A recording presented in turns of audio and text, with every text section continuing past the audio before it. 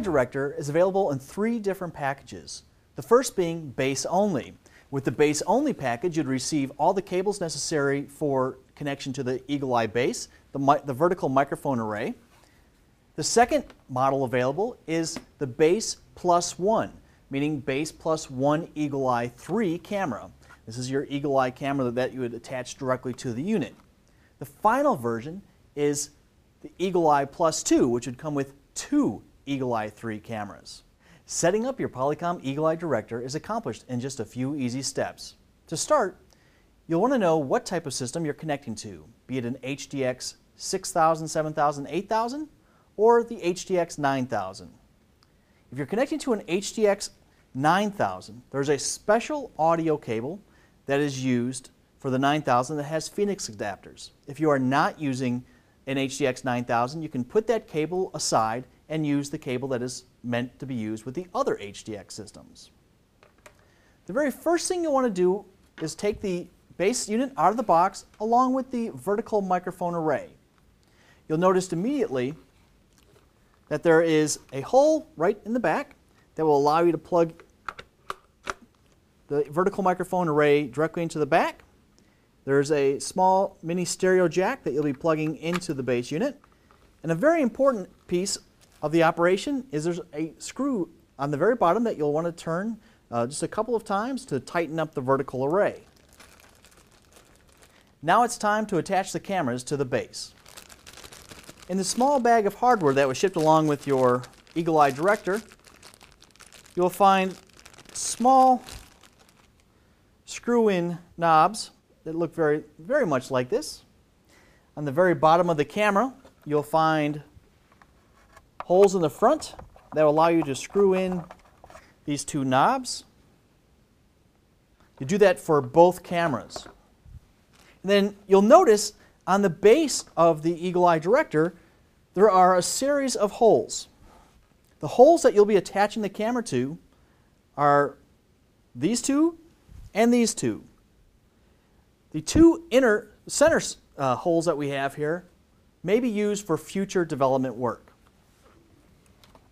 So let's go ahead and attach the camera to the base. You'll want to make sure that your cameras fit snugly into the base unit. As you can see, they're pushed all the way in and they are quite snug.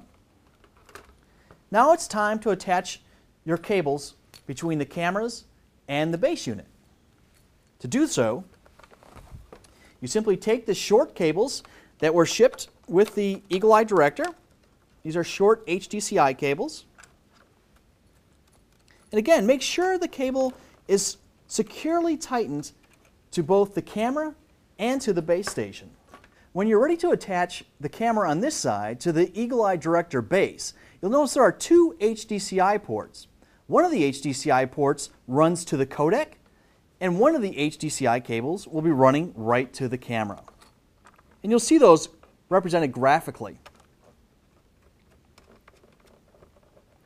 The final step to getting your Eagle-Eye Director to work with your HDX is again, plug in the HDCI cable from the base unit to your HDX system, plug in the power, then you'll also be plugging in an audio cable.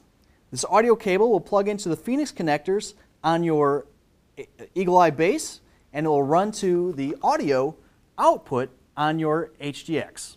Now there are two types of audio cables, one specifically for the HDX 9000 series and one cable for all the other HDX systems. We ship an audio cable and connect it to your HDX so we're able to cancel out the audio from the far side. This is in case you're using an integrated audio system with speakers and so forth in the room, we want to make sure that the audio that is being located in the room is by participants in the room and not on the far side. Connecting the audio cable is quite simple. The first thing you'll do is plug in the male connectors of the Y cable to your HDX. The female connections will plug directly from the Y cable to your television monitor. Then the Phoenix connector plugs directly into the base of the Eagle-Eye Director. There's just a few simple steps left before you can start using your Eagle Eye Director. The first thing you'll want to do is calibrate your Eagle Eye Director. You'll find the calibration setting screens under Administration under Cameras. The instructions on the camera calibration screen will walk you step by step on what you need to do. It's quite easy to set up your camera calibration. You basically sit about six feet away from the, cam from the cameras.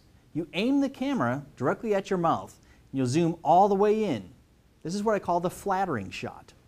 You'll align the crosshairs directly with your mouth and you'll choose Begin Calibration. One, two, three, four, five. And now your system is calibrated. The next step is to adjust your room view. The room view is the wide angle shot of the entire group.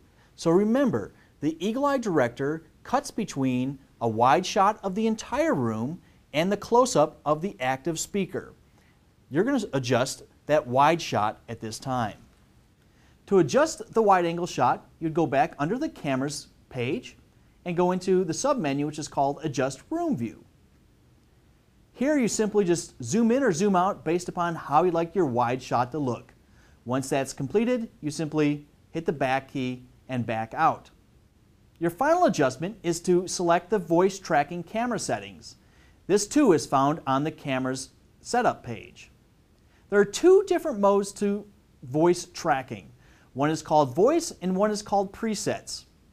When you select this system to voice, it will locate voices in a room and immediately go to that person's specific location. If you select presets, it will locate a voice that is coming from a preset location in the room. The final setting you need to do before you can start using your Eagle Eye Director is back all the way out and go to your near end camera view. You'll hit the options key on your remote control and go down and start voice tracking. Now your Eagle Eye Director is ready to start tracking voices. Thank you for joining me today. I hope you've seen how Polycom's Eagle Eye Director can turn an impersonal meeting into a very personal experience using its voice location technology. For additional information on the Eagle Eye Director, please visit polycom.com.